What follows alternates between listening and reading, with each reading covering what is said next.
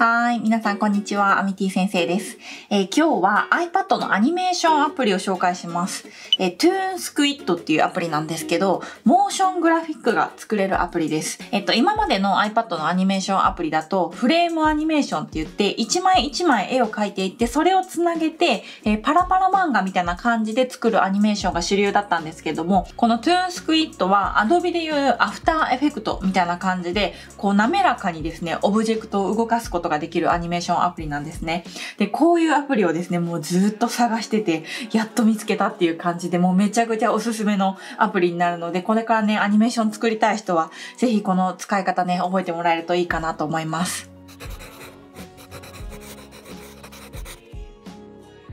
はい。じゃあ基本から説明していきます。まずですね、プロジェクト立ち上げるとき、このプラスボタンを押します。で、名前とか、あとはこのサイズとかをね、設定していくんですけど、とりあえず、えっ、と、1920の1080で大丈夫です。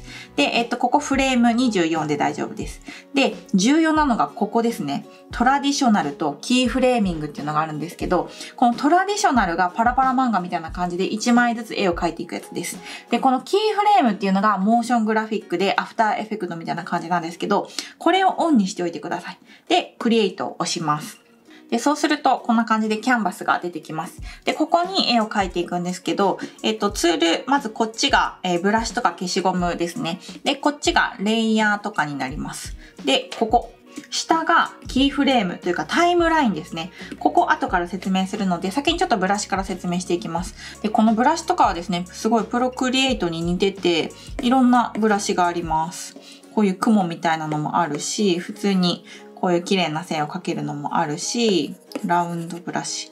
あとはね、ベクターブラシっていうのがあります。で、ベクターブラシはこんな感じですごく滑らかな線が描けるブラシなんですけど、こういうね、イラストとかを大きくしたりとか小さくしたりとか、えー引き伸ばしたりとかしてるとどんどん画像がね、荒くなっていくんですよね。なんですけど、このベクターブラシで描くと画像が荒くならないので、まあそういう絵を描きたいときは、このベクターブラシですね、を使ってください。と、あと、ブラシのサイズ、ここですね、サイズ。細くしたり、太くしたり。あと、色、色こちらになります。ここもプロクリエイトとすごい似てますよね。はい。こんな感じで色を変えます。あと消しゴム。消しゴムも好きなブラシでこうやって消すことができます。よいしょ。はい。で、ここがレイヤーですね。今、レイヤーが勝手に3つ分かれちゃってますけど、ここでレイヤー消したりとか、プロクリエイトみたいな感じです。簡単に消すことができます。あとは塗りつぶしとかぼかしとか、スポイトとかもありますね。あとはこのベジ曲線が描けるこういうパス、ペンツールとかもあります。図形も、図形もありますね。はい。じゃあちょっとこんな感じで、リンゴをね、一つ書いていきます。で、これをね、動かしていくんですけど、重要なのはここです。このタイムラインのところ、タイムラインのところで動かしていくんですけど、これこのまま再生しても何も変わらないですね。で、キーフレームっていうのを打っていくんです。まずですね、このポイント、このポイントでキーフレームをここですね、キーフレームをポチって押します。はい。そうするとですね、ここに点点点が、点点点がつきます。で、この状態で矢印を、矢印を持ってください。で、まずここでフレームを動かします。じゃあ2秒。ここが 2S って書いてありますね。2S のところに持っていって、で、この状態でこれをこっちに動かすんです。そしたらここにね、今線が出てくる、きてると思うんですけど、これ動いてる証拠ですね。で、そうすると勝手にもうここにキーフレームが打たれてるんです。で、これで OK です。ちょっとこれ短くしましょう。で、再生。はい。わかりますか？こんな感じで、モーショングラフィックっていうのは、こう、キーフレームを打って、その間をですね、このオブジェクトが動いていくっていう感じになります。じゃあですね、このフレームのとこ、ちょうど真ん中に持っていって、真ん中に持っていって、これを下に動かします。そしたらまた、このキーフレーム、新しいのがこことここに追加されましたね。ここを経由して、こっちに行きます。再生します。はい、こんな感じ。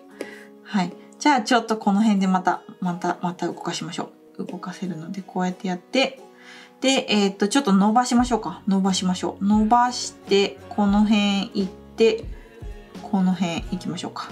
再生。はい、こんな感じです。めちゃくちゃ簡単でしょキーフレームをね、打つだけで簡単に動くっていう感じです。はい、じゃあちょっと、このキーフレーム一回削除しますね。削除したいときは、ここタッチして、 Delete Keyframe。押すとこのキーフレームが消えますこれも消えます。でこのキーフレームは長押ししてスライドするとこっちに移動することができます。このキーフレームとキーフレームの間が短ければ短いほど動きが速くなります。これが長いとゆっくり動いていきますね。ほい。じゃあちょっと動き変えてみます。動き変えるときなんですけど、ここのキーフレームのとこタッチして、えっ、ー、と、コーナーツールって言っていろいろ出てくるんですけど、この2個目、えー、シンメトリックっていうのを押します。そうすると、アンカーポイント、このね、よくイラストレーターやってる人だったらわかると思うんですけど、こういうコーナーツールが出てきます。で、これを動かすと、今この子がね、形変わってるとのがわかると思うんですけど、この子に沿って動きます。こっちも変えてみましょう。タッチしてシンメトリック。で、こんな感じで変えてみましょう。そうすると山を描くように動きます。なので、あの、ちょっと動きを変えたいときは何個もキーフレーム打ってもいいんですけど、ここでね、変えた方がいいと思います。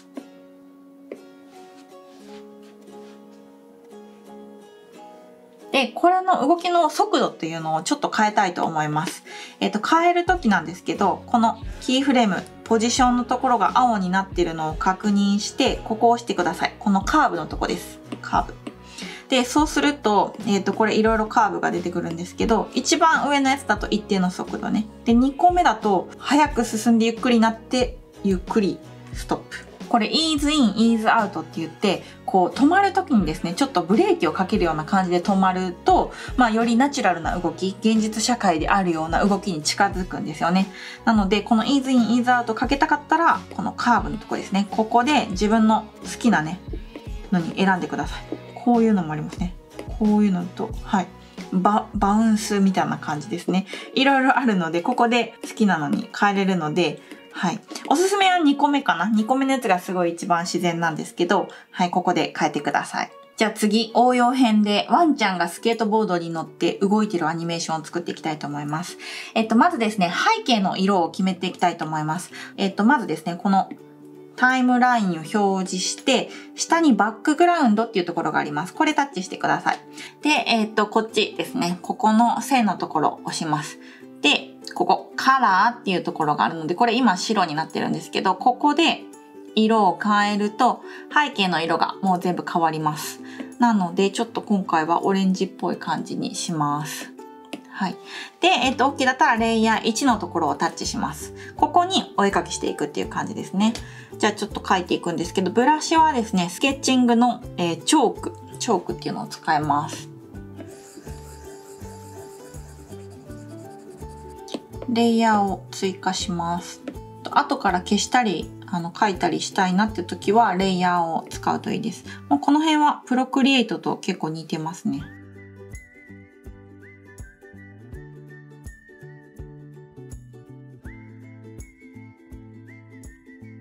新しいレイヤーを追加します。で、これ一番下に持っていって、ここにちょっとスケートボードを書いていきます。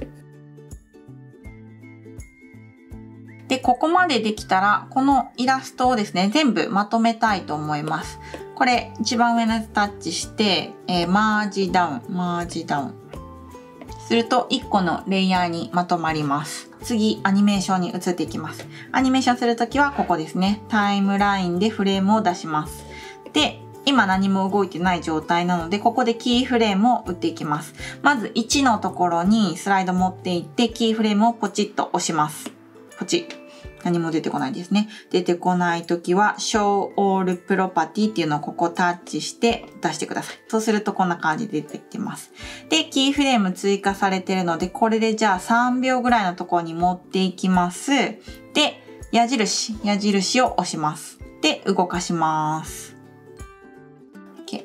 で、えっ、ー、と、今ちょっと長いので、ここをぴったりとキーフレームに合わせる。で、再生押します。こっち。はい。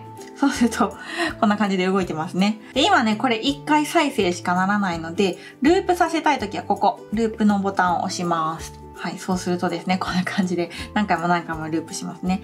で、えっと、このループのところですね、長押ししてもらったら、ノーマルと、えー、ブームレンジっていうのがあるんですけど、これ、ブームレンジの方にすると、再生するのが一定戻って行って戻ってっていうような感じで繰り返します。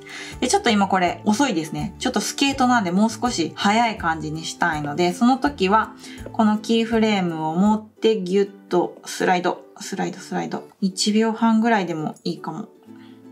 はい。あいい感じですね。これぐらいがいいんじゃないですか？じゃあこっからですね。尻尾。尻尾描きたいと思います。今、尻尾ないんですよ。あえてちょっと書かなかったんですけど、尻尾はね、パタパタパタパタみたいな感じで、逆、違う動きをしながらこれについていくような感じにしたいので、尻尾書いていきますね。で、えっ、と、その時はですね、尻尾のレイヤーを作るので、プラスで、レイヤーっていうのを追加してください。はい。そうすると、レイヤー2っていうのが出てきますね。で、えっ、ー、と、ここはまた別で書いていく必要があるので、こっから書いていきますね。えっ、ー、と、ブラシを取って、かわいいかわいい尻尾を描きます。こんな感じかな？で、えっ、ー、と、今、このレイヤーに、が上に来てるので、尻尾をですね、後ろに持っていきたい。ギュッて長押ししてわかりますか？これを。レイヤー1の下に持っていく。そうすると尻尾が後ろ側に行きますね。で、この状態でパタパタさせながらですね、進みたいんですけど、どんどんこう動いて、動いていきますよね。動いていくので、ちょっと動かして、で、これをキュッとこっちに こっち持っていく。持っていく。で、またこうやって動きます。で、動かす。動かす。で、また進んで、進んで動かす。そうするとこうついてくるんですね。ついてきます。で、えっ、ー、と、これをですね、パタパタ、パタパタさせたいんですよ。パタパタさせながら、こう進んでいきたいんですね。で、その時どうするかっていうと、回転させます。まずこの1のとこ持っていきます。で、矢印で、えっ、ー、と、このね、ちょうど真ん中ぐらいにすごすごく小さいんですけれども、こういうちっちゃい丸がついてます。これギュッて長押し。で、Disable Pivot Editing っていうのが出てきます。そうするとですね、ここの真ん中のコーナーがいじれます。これで、これを中心に回転させたいんです。これを中心に回転させたいので、ここ、ここ持っていきます。で、ちょっと、ちょっとずらす。そうすると、ここを中心に動くんです。わかります？で、動かします。動かします。2フレームぐらい動かしましょう。で、この子をですね、動かして、回転。2フレーム。動かして書いて。そうすると分かりますか？こうちょっとちょっと上げ上がりながら 上がりながら回転しながら動きます。どんどん続けていきます。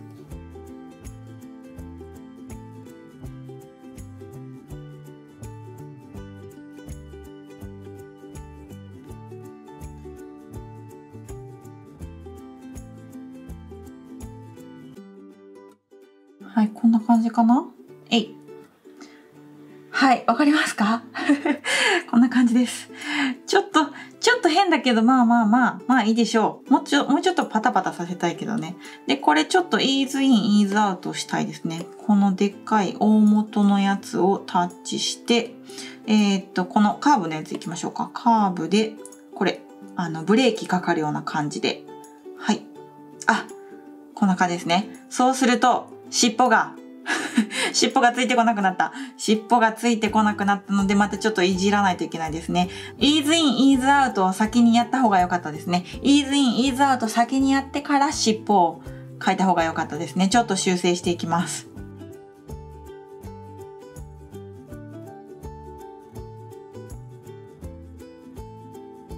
はい、行きました。これで再生させてみましょう。えい、いけ。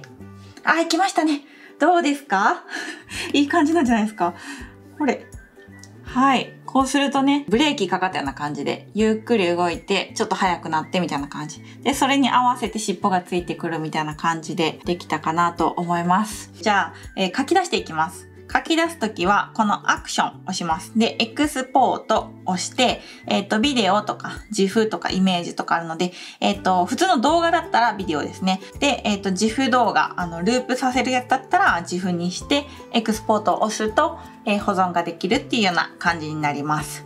はい、ということで今日はこんな感じになりましたけど、いかがだったでしょうか？えー、 ToonSquid ね、えー、一応1500円かかるんですけど、1500円でこのクオリティはマジですごいので、本当にダウンロードぜひおすすめします。またね、このアプリの使い方いろいろ紹介していきたいと思うので楽しみにしておいてください。で、 Udemy っていう有料講座の方では違うアニメーションの作り方を教えてます。これはですね、動く、あの、歩く人のアニメーションの作り方をプロクリエイトで紹介してたりするんですけど、まあこういう有料講座とかもですね、出してるので、よかったらユーデミーね、見てもらえると嬉しいです。